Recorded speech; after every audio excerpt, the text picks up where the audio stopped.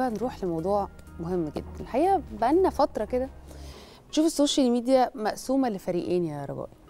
فريق بتاع ال- ال- اللي ليه علاقة أو بيؤيد التربية الإيجابية أو التربية الحديثة واللي بتكون قائمة على مناهج ودراسات علمية جديدة وأبحاث. وفي فريق تاني ويمكن ده الفريق اللي هو بقى خلينا نقول التربية المجربة. التربية القديمة بتاعتنا اللي هو إحنا يعني بنضرب بيها المثل وبنقول يعني إحنا اتربينا كده بيبقى المنهج التربوي بتاع جدودنا وبتاع آه، أمهاتنا اللي هو الجيل ال- ال- اللي فات شوية يعني ملناش دعوة بيه رجاء في النص يعني. ففي فريقين بقى موجودين دلوقتي. مين فيهم صح؟ مين وجهة نظره صح؟ إيه الإيجابيات وسلبيات؟ كل فريق فيهم أو كل وجهة نظر فيهم؟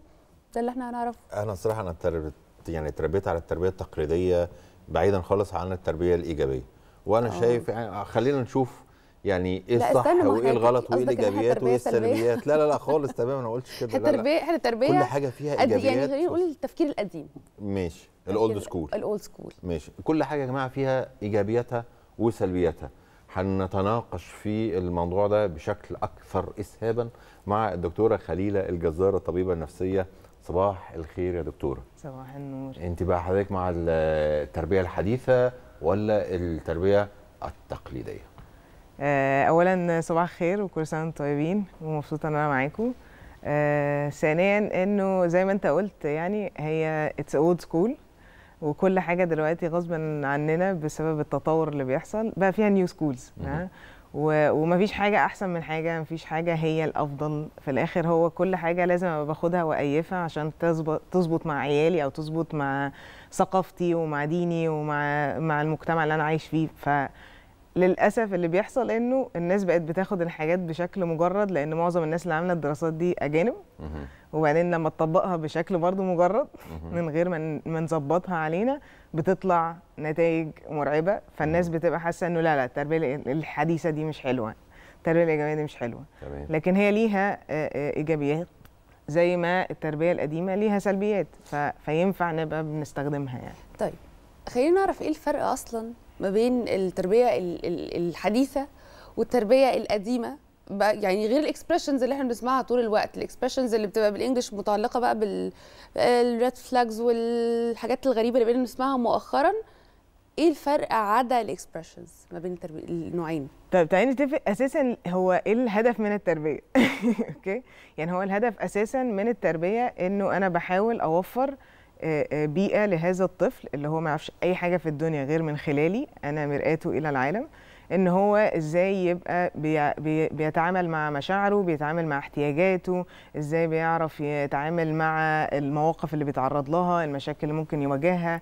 فهو دوري كأب أو كأم مش إن أنا أبقى آه، آه، بتحكم فيه قد ما إن أنا بساعده أو بوجهه عشان هو لسه ما يعرفش أي حاجة لحد ما يوصل لإن هو يبقى عارف يعيش في الدنيا دي وي- ويسرفايف يعني يقدر يتعايش في هذه الدنيا. وبالتالي التربية القديمة كان في جزء كبير قوي بقى دلوقتي مفقود إنه زمان كان في extended families بتربي معاك. يعني في. في مثل شهير يقول لك إنه it takes a village to raise a kid. أنت. محتاج قرية عشان تربي طفل. فليه؟ لإنه زمان كان عندنا آه، عم وعمة وخالة وخاله وجد وجدة والعمارة كلها بتربي معانا ومع يعني ده لما زمان ك- لما كنا آه، آه، أو أجدادنا يعني لما كانوا بيقعدوا في بيت العيلة كان صح في بيت كده؟ عيلة أها. وكان في تجمع عائلي بشكل منتظم وكان كل الناس داخلة في تربية الولد اللي انت بت... بيجي لك ده وبالتالي كانت المسؤولية بشكل أو بآخر مش م... مش محصورة عند أب وأم.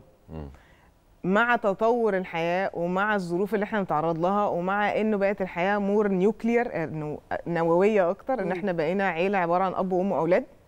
وإحنا شايلين كل المسؤولية بتاعت إن إحنا نعلم هذا الطفل إزاي يتعامل مع الحياة بقى المسؤولية زيادة جدا والضغط أعلى بكتير وفي نفس الوقت أنا بحاول افولفل كل ال- الأدوار اللي كانت بتلعب من ناس حتى تانية النقطة دي يا دكتور تريكي برضو شوية لأنه في حتى آه، أسر أمهات آه، آباء آباء يعني بيقولوا إنه آه، لأ حتى لو جد أو جدة موجودين ما تتدخلوش في التربية. حتى لو بيت عيلة موجود ما تتدخلوش في التربية. ح- حلو. ما هو ده بقى اللي ده الفكرة بقى إنه اللي بيحصل دلوقتي إنه زمان كانت التربية رايحة أكتر ناحية حاجة يعني اللي خلانا ننتقل من ال extended family لل التربية اللي موجودة دلوقتي إن التربية دلوقتي بقى اسمها تربية authoritarian يعني إيه authoritarian أو الزمان كانت authoritarian يعني إيه؟ يعني ابتديت أبقى آه، آه، مستبد شوية. أنا بحط قواعد صارمة جدا وقوانين صارمة جدا وعندي expectations عالية جدا من هذا الطفل وهو ما ينفعش يغلط. مم. وده مش واقعي. وبالتالي الطفل بيطلع للأسف شايف إن هو آه، آه، احتياجاته مش مهمة مشاعره مش مهمة. هو أهم حاجة يبقى بيحقق الحاجات المطلوبة منه عشان خاطر يبقى بي survive عشان يبقى مقبول. okay؟ وبالتالي الطريقة دي القديمة كانت بتشتغل. آه بتطلع ناس ناجحة جدا وبتطلع ناس آه، ما بتغلطش بس في الآخر هي بتطلع ناس هل هم صحيا هيلثي هل هم نفسيا, نفسياً، سالمين لا. طيب أنا أستاذنك إحنا هنتكلم في النقطة دي تحديدا. وهنتكلم كمان آه، زي ما إحنا زي ما كنت بتكلم آه، في الأول مع زميلتي جومانه سلبيات وإيجابيات التربية الحديثة والتربية التقليدية. بس إحنا آه، كاميرا صباح الخير يا مصر نزلت بقى كده الشارع ورصدت آراء الناس بنسألهم التربية الحديثة أفضل ولا الأولد سكول؟ يلا. نشوف يا جماعة ونرجع لكم تاني مع زميلنا أحمد الحسيني. خلينا نتابع. يا ترى لو عملنا مناظرة بين جيل زمان وجيل دلوقتي من الآباء والأمهات النتيجة هتكون إيه؟ نزلنا الشارع وسألنا الناس مين أفضل التربية القديمة اللي اتربينا عليها زمان ولا التربية الحديثة أو ما يعرف بالتربية الإيجابية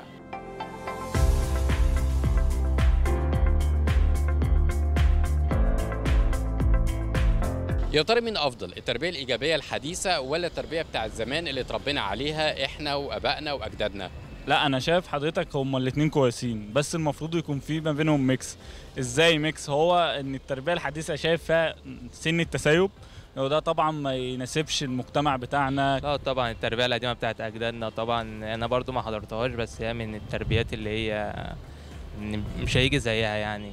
والله أنا رأيي إن التربية القديمة ليها سلبياتها وليها إيجابياتها. من ضمن السلبيات إن كان زمان مثلا في موضوع الضرب أو فكرة إن أنت تضرب طفل عشان غلط أو حاجة. من ضمن مميزات بقى التربية الحديثة إن أنت التفاهم أحسن فلغة التواصل مع طفلك لما بيكبر بتكونوا أقرب لبعض بكتير من زمان. يعني أنا ممكن يكون لما أبقى أب في يوم من الأيام أكيد هبقى أقرب لابني من والدي ما هو قريب مني. أنا شايف حاليا إن التربية الجديدة بتبقى أفضل إن يعني الأب بيبقى مثلا أو الأم قريبين أكتر من أبنائهم ومن الأطفال يعني بيبقوا متابعين معاهم وبيركزوا معاهم وبيشاركوهم كل حاجة لحظات الفرح أو لحظات الحزن بتاعتهم. شايف إن تربية زمان أو التربيه اللي أنا اتربيت عليها مثلا أحسن بكتير من التربية دلوقتي الجيل الجديد بيتربى عليها. بالنسبة لزمان مثلا الابات والأمهات ما كانش في سفر وبالنسبة للبنت اللي هي تتجوز وتقعد في البيت دلوقتي طبعا الموضوع اتطور وكل مدى أصلا إحنا بنتطور بنكون بنكون في تقدم أكتر. لو سألتك مين افضل التربية الجديدة ولا التربية القديمة اللي اتربينا عليها زمان؟ حضرتك أفضل التربية القديمة اللي اتربينا عليها الأول. كان فيها مبادئ وقيم وأخلاق. الميزة بتاعت زمان اللي هو كانت ال- ال- العيال بتخاف من أبهاتها وأمهاتها أو كده اللي هم بيبقى فيه رهبة. دلوقتي ما بقاش فيه رهبة لأبونا لأمهاتنا بقى كله عادي بقى كله زي بعضه وبدا يتعامل ده وده بيتعامل ده.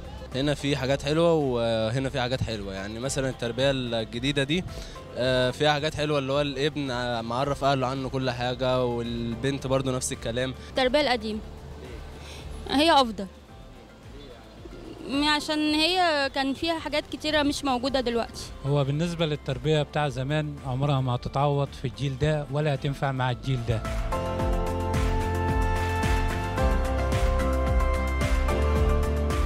طب إيه اللي عجبك أكتر في التربية القديمة بتاعت أهالينا؟ إن هي مطلعة الناس منضبطة أكتر. يعني أنا بحس إن أنت كل ما الجيل بيبقى بتنزل للسن أكتر كل ما بتشوف إن ال... في تفتح زيادة عن اللزوم بيحصل بالنسبة لي. في أخطاء ما كانتش بنشوفها زمان في الشارع. هي فكرة إن في كنترول على ال- الشخصية بحيث إن إحنا كمجتمع شرقي محافظين عليها أخلاقنا. كان أفضل التربية القديمة فيها بعض الحاجات التقاليد اللي اتعودنا عليها حضرتك من أيام أبهاتنا وجدودنا والحاجات دي. احترام مثلا كبير دي حاجة دلوقتي مش بلاقيها. دلوقتي ممكن ألاقي شباب كتير في الشارع يتعامل مع ناس راجل كبير بقله احترام ان مثلا راجل مهما كان طالما أكبر مني في السن الموضوع يكون فيه احترام. يعني لو آه، آه، الالتزام مثلا. في احترام للأب اللي هو أب بيجي في الساعة كذا يبقى كله يخش كذا كله في مواعيد يعني في في ظبط في ال- في الميعاد وكده. إن هم دايما تربية بابا وماما بيثقوا فيا بيثقوا فيا وبيثقوا في رأيي جدا. بس فده برضو الحاجة اللي أنا هربيها لأولادي إن أنا أثق فيهم و- وأسمعهم. القديمة الحلو فيها إن في احترام كده للأهالي.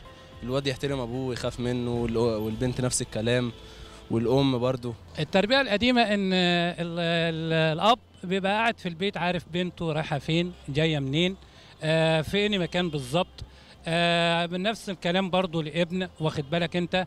آه كان آه الأب قاعد مطمئن آه، اطمئنان كامل بأن ما فيش حد اللي هيلعب بابنه ولا حد هيلعب ببنته. ولكن حاليا دلوقتي موضوع التليفون وموضوع ال- الحياة اللي إحنا بنشوفها الهستيرية دي والكلام الفاضي والكلام ده وكده ده اللي بيخوف إن الواحد خلاص الأب فقد السيطرة على تربية ابنه حاليا.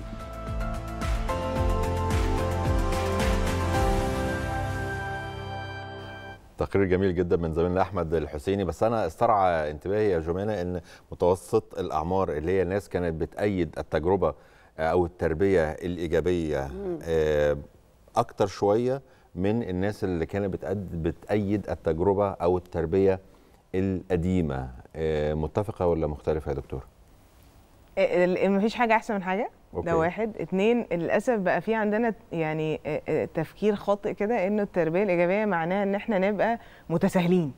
أها. وده مش حقيقي. لأنه لأنه التساهل في حد ذاته هيطلع أكيد طفل مش يعني مش بيحترم الناس وبيبقى آه، شايف إن هو من حقه يعمل حاجات من غير ما يحترم القوانين من غير ما يبقى بيراعي الآخرين. وبالتالي ده مش التربية الحديثة. التربية الحديثة is more of يعني هي أكتر مهارات أنا بتعلمها عشان أعرف أتواصل مع الجيل الجديد اللي هو التواصل معاه بالطريقة القديمة مش هتشتغل. أنت كأنك بتكلم بني آدم من الفضاء بس عايزه يفهم عربي. طب ما هو هو أنت محتاج تبقى هو بيتكلم إيه عشان تعرف تتواصل معاه. وبالتالي هو الفكرة في التربية الحديثة إن هي مهارات أكتر من إنها يعني في قوانين وفي حزم وفي كل حاجة.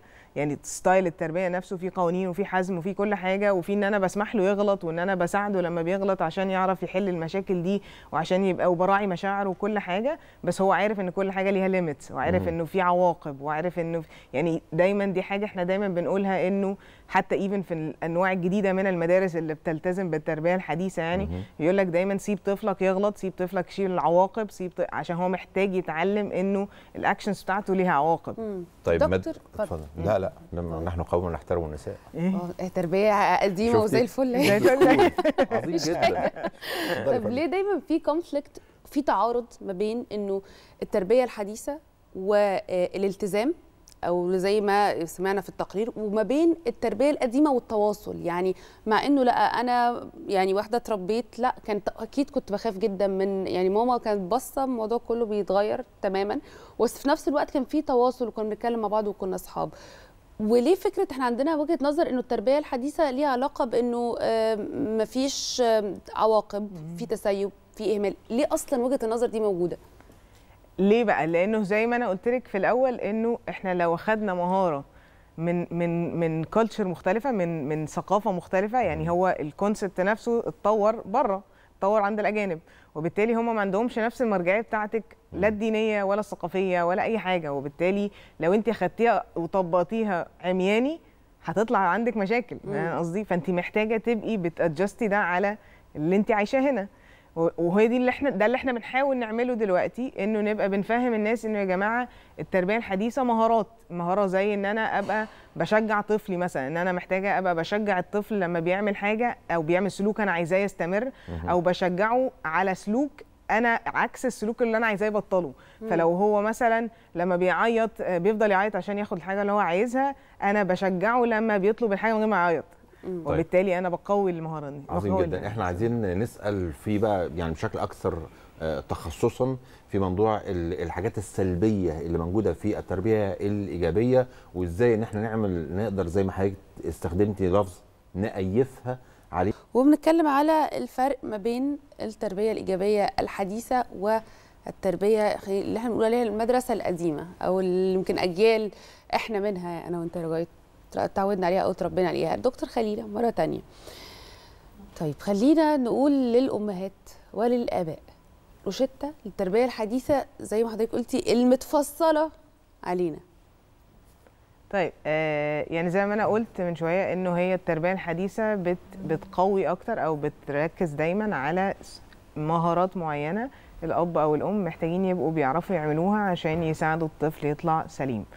المهارات دي منها إنه زي ما أنا قلت إن إحنا نبقى بنشجع سلوك معين إحنا عايزينه بدل ما إحنا نبقى بن بنعمل punishment يعني أو بنعمل عقاب على السلوك اللي مش عاجبنا بالعكس أنت شجعت السلوك اللي عاجبك الطفل بيحب هذا التشجيع وبالتالي بيستمر في هذا السلوك لمجرد إن هو يسمع هذا التشجيع مم. فده واحد اتنين إنه محتاج إن أنا أبقى برفلكت لطفلي أو إن أنا أبقى بعيد ورا طفلي الحاجات اللي هو بيقولها لي عشان أوصل له إن أنا سامعه وإن أنا موجود وإن أنا حاضر. فانا أنا مش بس بسمعه من غير ما أبقى باصص له أساسا. وهو الولد بيبقى حاسس إن هو مش مش مسموع ومش متشاف يعني.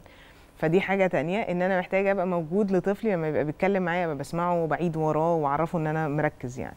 الحاجة التالتة وهي اللي إحنا غالبا غالبا ما بنعملهاش كتير قوي ال imitation يعني إيه؟ يعني الأطفال بيحبوا يقلدوا. فلو انت role model هو هيقلدك. لو أنا شفت بابا بيقول شكرا هقول شكرا. لو شفت بابا بيقول حضرتك هقول حضرتك. لو شفت بابا بيتعامل بطريقة ما أو ماما بتتعامل بطريقة ما هقلد. الطفل بيحب ي imitate وعشان كده إحنا دايما بنقول ابتدي انت بان انت تقلده في ان انت تقف تغسل سنانك معاه زي ما هو بيغسل سنانه. مم. في ان انت تقف معاه تعمل حاجة وتلبس الجزمة معاه وهو بيلبس الجزمة. عشان هو يبتدي يبقى بيعمل العكس. مم. فدي تالت حاجة. رابع حاجة يعمل العكس؟ لا يعني يعمل يعني يقلدك آه. انت لو ما بتقلده هو بيقرر إن هو يقلدك. ليك mirror يعني أيوه آه. بالظبط تبقى مراية ليه بالظبط الحاجة الرابعة إنه آه، آه، محتاجين نبقى بنعرف إن إحنا ن describe اللي حاصل ورا الموقف فأنا محتاجة أبقى بعرف أشرح لطفلي قد إيه أنا حاسس بيه قد إيه أنا عارف إن أنت متضايق إن ال screen time مثلا إن أنت بتتفرج على التلفزيون لمدة ساعة بس في اليوم وأنا عارف أنت متضايق إحنا مضطرين نقفل التلفزيون وندخل ننام. أنا برضو متضايق إن إحنا هنقفل إن أنا هقفل التلفزيون وأدخل أنام بس إحنا بكرة هنكمل التلفزيون عادي هنرجع نتفرج على اللي إحنا عايزين نتفرج عليه. بس حضرتك ف- شايفة إن يعني ضغوط الحياة اللي بتفرضها طبيعة آه، سرعة الحياة على على الأب والأم يقدروا يعملوا ده كتير. يعني أنا أنا حد مثلا آه، عندي مسؤوليات كتيرة عنده ضغوطات كتيرة. هل أنا لازم أقول لطفل معلش هنقفل التلفزيون النهارده أو دلوقتي علشان إحنا مضطرين إحنا نخش هنعمل كده ولا بعد إذنك اقفل التلفزيون عشان هنخش ننام؟ خلصت. طيب تعالى نقول حاجة لطيفة جدا okay؟ إنه في في يعني في في في تعريف معروف قوي عندنا في الطب النفسي يعني لحد عالم من علماء السيكولوجي يعني في الأطفال إنه good enough parent يعني إيه good enough parent يعني أب كافي. هو أنت مش أب perfect انت مش مم. عمرك ما هتبقى آه، آه، آه، أب مثالي مم. لكن انت على قد ما بتقدر بتحاول تبقى واعي للي انت بتعمله عشان ده هيأثر على طفلي مم. وبالتالي ممكن أعمل حاجات في أوقات أنا عارف إن هي مش صح فأرجع بعديها أقول للطفل أنا عارف إن أنا لما زعقت لك أنت اتضايقت فأنا آسف إن ده حصل المره الجايه أحاول إن أنا أبقى أهدى أو أحاول إن أنا ما أبقاش متعصب. يعني لأنه لو لو إحنا رجعنا وقلنا لأي حد فينا من بتوع التربية القديمة انه لو انت صحيت بكرة لقيت والدك أو والدتك أو لو هم مش موجودين لقيت رسالة منهم بي بيقولوا لك إحنا آسفين ان إحنا في وقت ما زعقنا لك أو تعاملنا معاك بطريقة معينة وده ما كانش ذنبك وانت ما كنتش السبب لأنه كتير قوي مننا فاكر إنه أنا السبب أنا الحد الوحش أنا اللي ضايقتهم ها؟ فلو أنا صحيت لقيت إن أبويا أو أمي بيقولوا لي إن أنا آسف إن أنا عملت كده وإن أنا أنت ما كنتش السبب أنا اللي كنت مش كويس وأنا كنت محتاج إن أنا أبقى بهندل نفسي قبل ما أبقى بتعامل معاك بالطريقة دي هنحس كويس. فتخيل حاسة إن الموضوع قلب شوية روبوت روبوتك كده شوية يعني حاسة إنه كان ساعات لما حتى ممكن ممكن ال- الأب والأم يتعصبوا مش لازم يقول له أنا آسف بس ممكن يحسسه مثلا إنه أنا اتعصبت عليك امبارح بطريقة لطيفة يعني يقدر يوصل له بطريقة لطيفة إنه ما يعني ما تزعلش مني ممكن أنا اتعصبت أو يعني يعني حاسة شوية إن إحنا بنتكلم على المدينة الفاضلة. لا يعني خالص هي, هي مش الفكرة في إن أنا مش بتكلم على sorry as sorry أنا قصدي إن أنا ابقى apologetic أنا أنا أنا أنا أنا عارف إن أنا عملت حاجة مش كويسه أنا مش بتكبر في إن أنا لو غلطتش وأنت آه. السبب. واصل أنت استفزتني. ليه ليه؟ هو عمل طب وفي إيه؟ مرحلة تاني؟ العند بقى يعني في وقت كده بنبقى في مرحلة إن هو to be or not to be زي ما بنقول. يعني يا أنا كلامي هيتسمع يا إما كلامي هيتكسر. ف وبتبقى في عند وبتبقى فعلا مرحلة كده بين الطفل وال... و... و... وأولياء الأمور بتبقى مرحلة سخيفة. الطريق التعامل يعني الطريقة المثلى للتعامل في الموقف ده إيه؟ حلو. تعالي آه، يعني نتفق إنه هو التربية accumulative يعني. حاجة بت build up على بعضها حاجة بتبني على بعضها.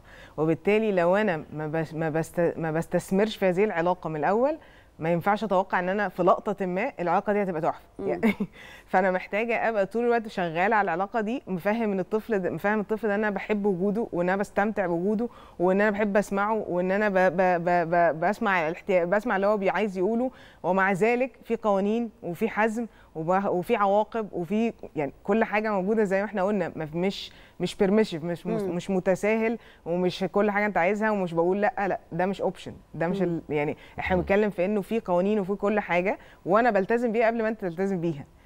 فاهم قصدي؟ على أي حال يا دكتورة يعني هو لكل حاجة مميزاتها طبعا. ولكل حاجة عيوبها. بس أنا يعني استحضرني كده كادر إن سي سيد بعد ما وانت عارفة طبعا سي سيد في في الفيلم الشهير يعني كان إزاي بيعامل أولاده يعني. فبعد مثلا ما عنف ابن من أبنائه فبعت له آه، قال له بعد إذنك أنا غلطت أو أنا بعتذر. هو أكيد الابن هيقول له بابا هو انت أنت تمام؟ ده كويس. على أي حال بشكرك شكرا جزيلا. دكتورة. خليلة الجزار طبيبة نفسية للأطفال أشكرك شكرا جزيلا.